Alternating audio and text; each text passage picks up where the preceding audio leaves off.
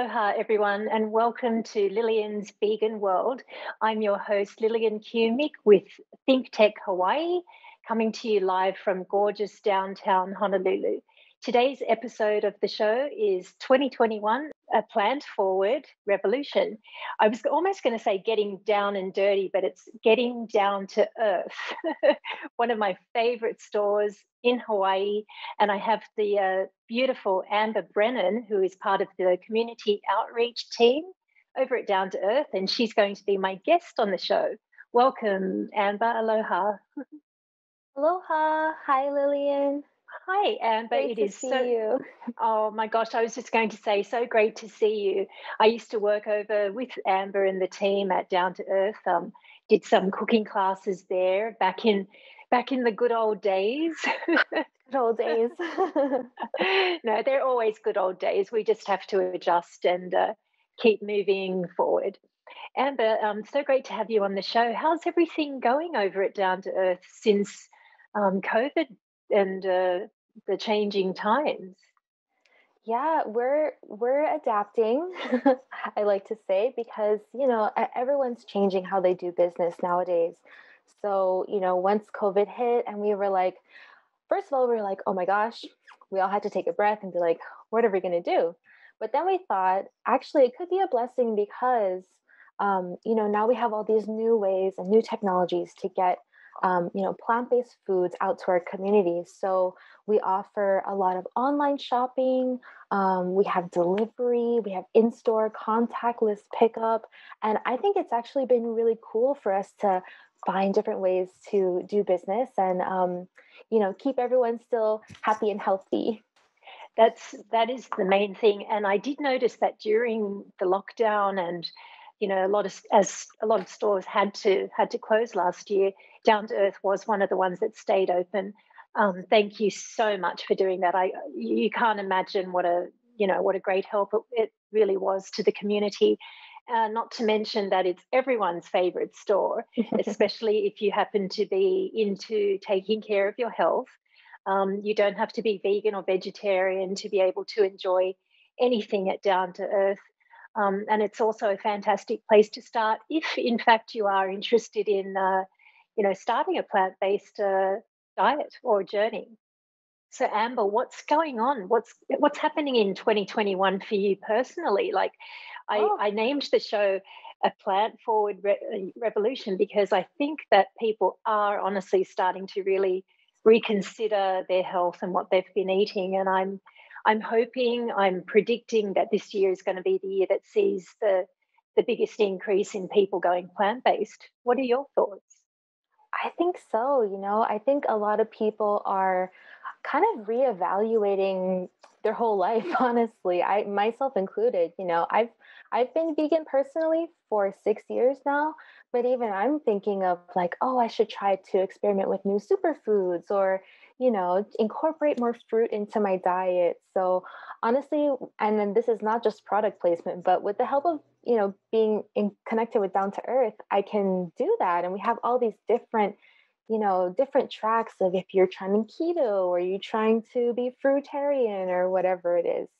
Um, you know, there's there's a lot of different avenues you can take. So yeah, we like to support the journey of everyone. Mm, absolutely. Um, Amber, before we continue on, just for uh, people outside of Hawaii, can you explain exactly what kind of store Down to Earth is?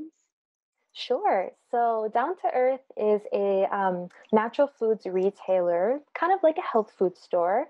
So, we we like to be not just a place to get plant based groceries because we are 100% vegetarian. Um, we do have a lot of vegan options and we do sell dairy and some honey, but that's the only animal products that we sell. And um, we so we have groceries, we have produce, a wellness department with knowledgeable staff. You can ask them about all kinds of natural wellness options. But but my favorite part is the deli because we have a huge spread of a hot bar, a salad bar, um, some of our delis have um, sushi, Asian wok bowls. Our smoothie bowls are amazing. Just pretty much anything that you want that um, you thought couldn't be plant based, we definitely have it for you. Mm-hmm. And um, for our friends in Hawaii, we definitely have the local flavors. We're constantly um, updating our menu to make it more uh, local friendly, if you will. So we have a lot of local favorites, which includes a lot of Asian fusion. We always experiment with a little bit of Hawaiian food and all kind of cultures in between. Mm, that is a, you, interesting that you pointed that out because Amber, you have actually prepared some slides for us of some of the food available at Down to Earth. And this first one, speaking of fruit, just I, am sure that the viewers looking at this are going to be confused as to what it is because it literally looks like ahi poke. Um, what is it? In fact, it's not. so it's actually so the slides that I sent you are recipes that we've um, created. They're not um, available at our stores, but they're on our website. So mm-hmm. this is um, we found a recipe and we kind of tweaked it to make it like um, just we use our poke, you know, a standard poke recipe that you know probably we got from our grandma or auntie or uncle or what have you. But we just roasted watermelon and then we just um, just substituted that instead of the fish, and it was that easy. And just like ahi poke, it's best when you let it marinate over for a day. Yes, if you can wait, that that looks amazing. I do want to um, mention this is a great tip for anyone who enjoys the Hawaiian flavors of poke. Um, watermelon, actually, you should roast it in the oven, as Amber said, or you can just dry bake it off in the fry pan, no oil, just let it release its liquids and then marinate it. You can also marinate it first, then roast it or dry it off in a, in a skillet or a fry pan. And I tell you, this stuff is uh, crazy uh, because it really does take on that not fishy texture, but it, it doesn't, it, it loses its watermelon um, ness. so yes. that's totally um, eating fruit. you know, it's it's such a delicious thing. I love watermelon poke. I mm. actually tried to poke apple the other day, really, which was interesting, and it kind of came out almost like a a daikon or a radish consistency, which was interesting. Oh. Yeah, you should give it a try. The apple. Yeah. I'm I'm considering. I'm thinking pear might work as mm. well, but anyway, poke is just one of those, you know, just a loved uh, recipe or dish in Hawaii and something you should definitely try. Amber, you yeah. did mention that the recipes are all available on your uh, website, which is, yes. is it down to earth? Down to earth.org. Dot, dot our recipes um, section on the top will, and then you can search all the recipes. Or I think you have the links that will be available down below. Yes, they will be. Let's have a look at another slide. This is the um, tofu musubi. Yeah, these are so. This is my version of the tofu musubi. Um, you know, back when we had gatherings, those good old days, um, I would have to prepare a lot of musubi for my family and friends. So what I did was I just put um, a baking sheet with rice, and then I would just um, get my musubi, um, not musubi, but the tofu slices, and marinate them and fry them up, and then just place them onto the baking sheet and cut them so that you can make a lot of musubis that way.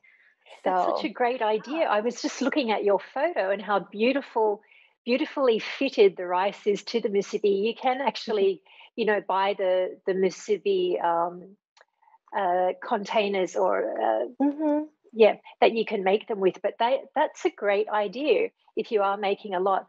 Um, Amber, you do a lot of cooking. Is your husband vegan as well? He is, yes. oh, do you want to swap husbands with mine? You veganize mine and then send him back, and I'll send yours back. well, how long has you as a cook? yeah, how long has your husband been vegan? You mentioned oh. you you have been for six, uh, six years or so. I think he may be coming up on four years. Okay, so you were remember. first. yeah. okay, and how did, was it his choice to go vegan? I'm I'm sure because of the cooking, like that would have uh, definitely helped push him in that direction because you you cook so well. Was well, it hard you. for him? How, was it hard for him to um, to give up the regular American diet or Hawaiian diet? So I actually feel like it was really easy for him because um, when I went vegan, he was very supportive and he said, you know, I'm okay with not having any animal products in the house. So I was like, yes, great. Um, but now I just, you know, I have all these things prepared for him and, you know, I'm cooking all the time in the house. So he was like, yeah, this is easy. I can do this. so I kind of set him up real good. yeah, I was going to say, I, I think he, he could be spoiled in a, in a very, you know, wonderful way. um, my, my husband is not vegan, but our home is 100% vegan. We don't have any leather or anything in our home. Um, and he, he loves it. He actually enjoys being vegan here. And, you know, when he needs whatever the fix, you know, is he'll go out and, and do that. But who knows? I always keep my fingers crossed that maybe someday he'll wake up and just realize that he doesn't need it anymore. We shall see. we shall. And with a lovely cook like you, I'm sure he'll see the light someday. well, I, I know you would think by now he'd be, you know, totally on the vegan wagon, but uh, he's getting there. He, he's very good though. Let's Maybe take a look at another. I know that this is true. We, you know, crazier things have happened. Um, are you able to see this slide? Yeah. Awesome. Tell us a little bit about it. My mouth is watering right now. I know. I, it's about that time too. Yeah, so this is our garlic shrimp, or uh, my garlic shrimp recipe that I kind of adapted. Um, it's inspired by um, the North Shore shrimp, shrimp trucks. Um, I've never had shrimp from the trucks before, but I've seen a lot of recipes, and my friends have uh, shared their recipes with me. So I kind of Frankenstein them all together. And then I use this beautiful um, vegan shrimp that we sell in our frozen department um, to create this dish. So um, it's pretty much just fried garlic um, with a little bit of vegan butter. And um, you just put the shrimp in there. It's a konnyaku base, which is kind of like a Japanese um, potato kind of starchy kind of mm-hmm. situation. Um, and then you just squeeze a little lemon, got your rice, and you have a beautiful meal.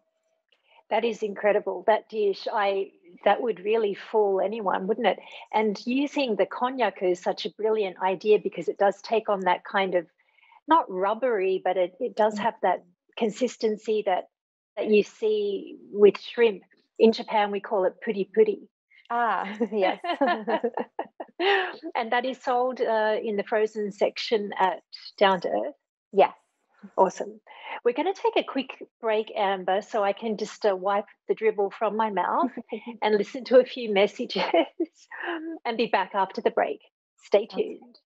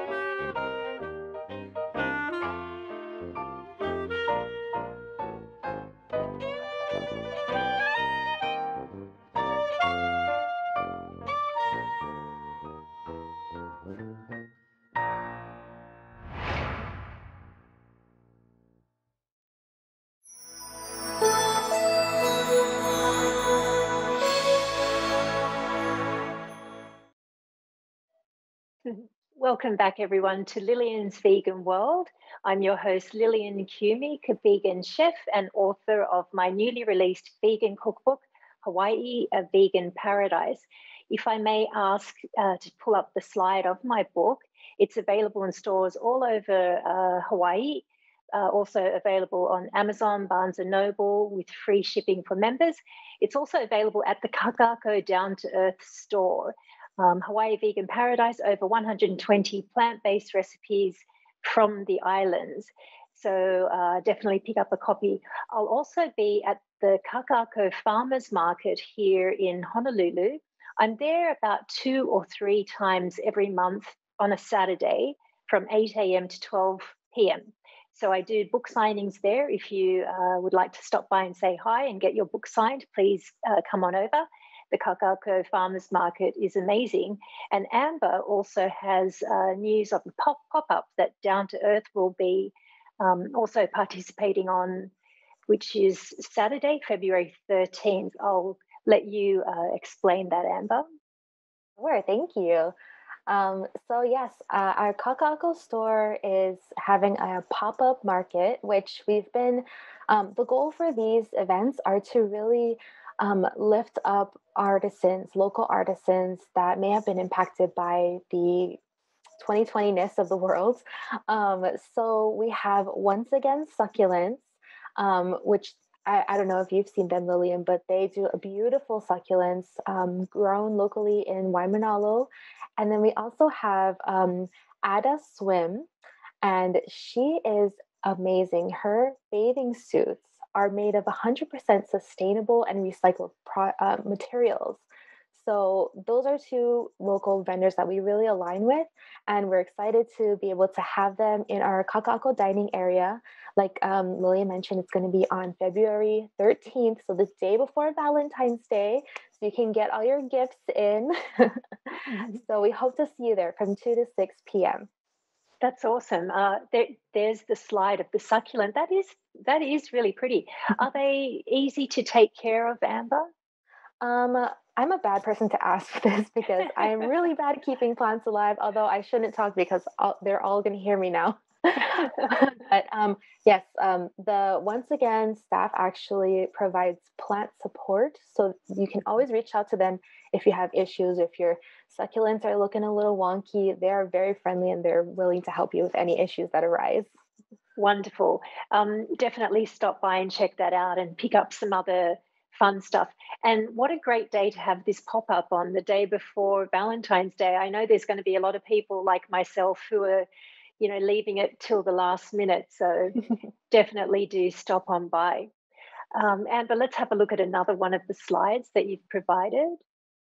Ooh. The gorgeous, gorgeous Pitaya bowl. Um, a lot of people don't realize that Pitaya is actually dragon fruit. Mm-hmm. Yes. Yeah, and it's a superfood too. So we try to make um, healthy options available, you know, in, in the form of things that people actually want to eat. So we have a lot of different smoothie bowls, and the Pitaya bowl is just one of our most popular ones. That is gorgeous. Look at the color. You know, one thing about the smoothies and the smoothie bowls at Down to Earth, they are so gorgeous to look at. Thank you you know they're not only super healthy for you but this is another one. Let's take another look at it that that vibrant color. Are you using the frozen pitaya for this or is it fresh? I believe i believe that it's frozen. I'm not 100% sure mm-hmm. but um, yeah our our deli is very very picky about their ingredients so i trust them 100% that it's very good quality No, absolutely. That looks amazing. What kind of topping uh, are the toppings all vegan, or are, is it you have a vegan? Um, you have vegan options for the toppings. How does that work?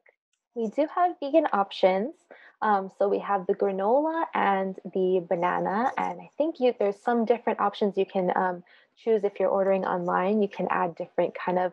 Um, I think um, you can do coconut cream. You can do different kind of nut butters uh, maybe some hemp seeds. You can get fancy if you like. Uh, definitely, that's that's the whole point of the smoothie bowl. You just um, concoct your own version of it and and go as crazy as possible. in in my opinion, that is the point of the smoothie bowl. when I make Always. them here, I mine end up you know being big enough to feed four people, but I somehow manage to get it down just by myself. so that's another gorgeous one. Do you still have the the blue coloured smoothies over at Down to Earth? I used to love them last year with oh, the, the smoothie um, bowls. The smoothie bowls, yes. Yeah, we do. Those are the ones that are inspired by Hawaiian landscapes. So we have our Lehua bowl, which is made with goji berries the Mauka Bowl, which is um, inspired by the mountains. So we have green spirulina. And then we have Makai Bowl, which is inspired by the ocean, like this beautiful ocean behind me. Mm-hmm. Um, so that's blue spirulina base. Gorgeous. Um, don't rub in the island thing, Amber. You know, not everyone is able to live here in paradise. it's okay. I actually rub it in all the time. Are you originally from Hawaii? Yeah, I was born and raised in Kaneohe on the east side.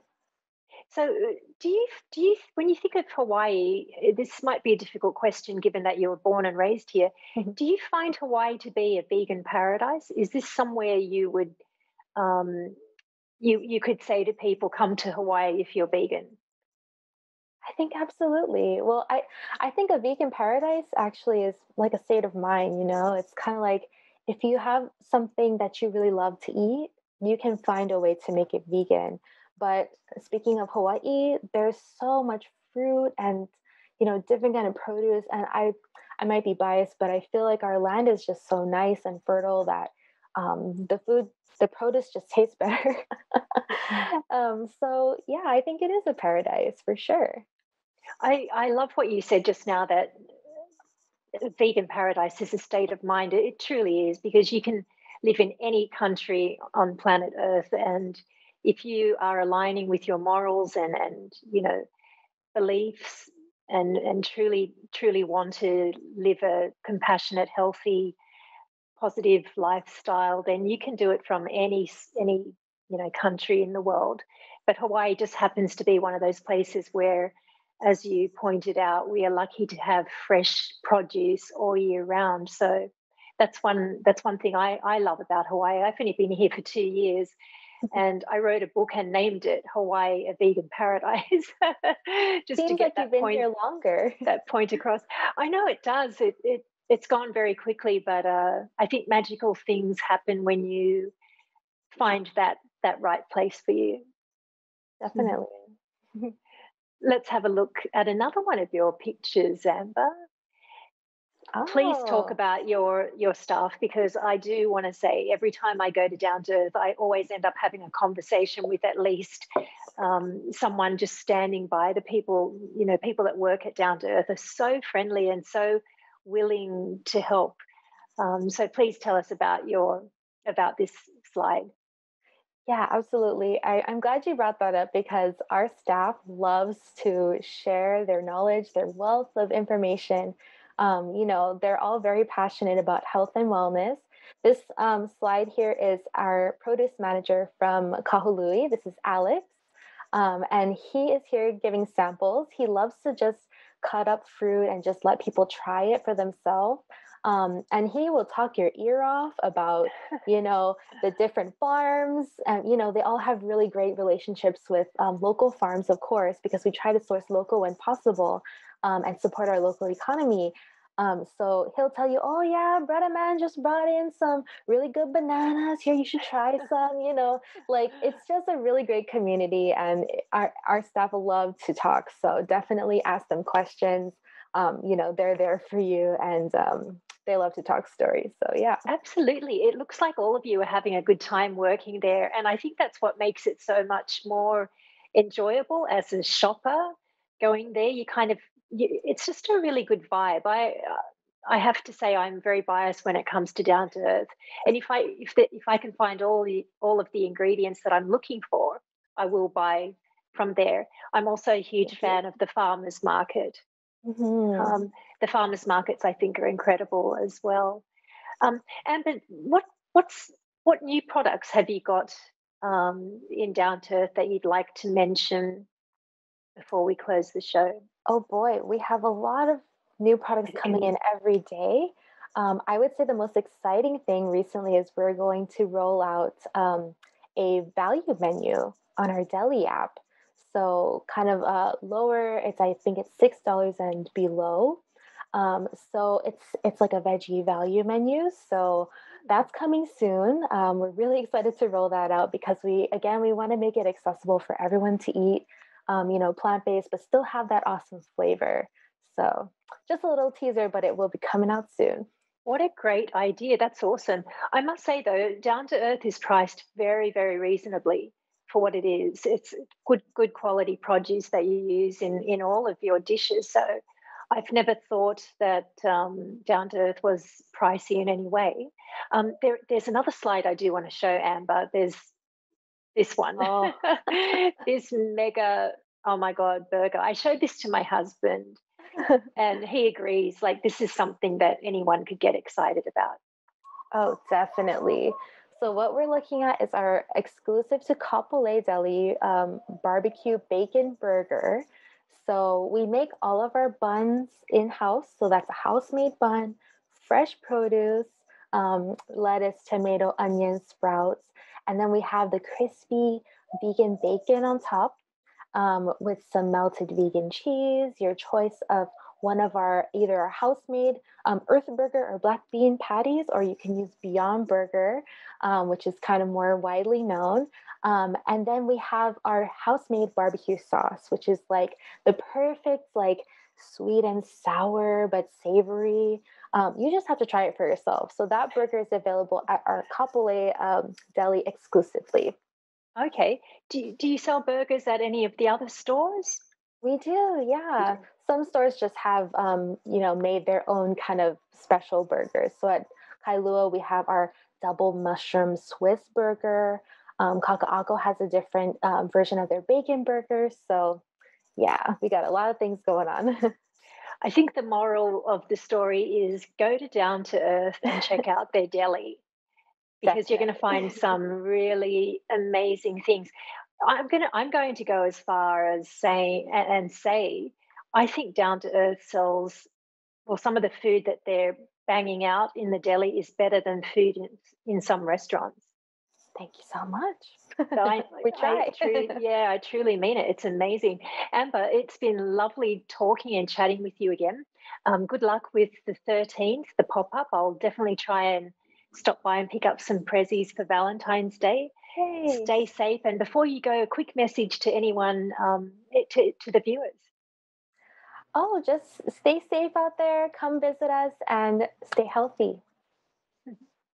Perfectly said. Thank you so much, everyone, for watching another episode of Lillian's Vegan World. Thank you to Amber, our gorgeous host today, and I look forward to seeing you at the store.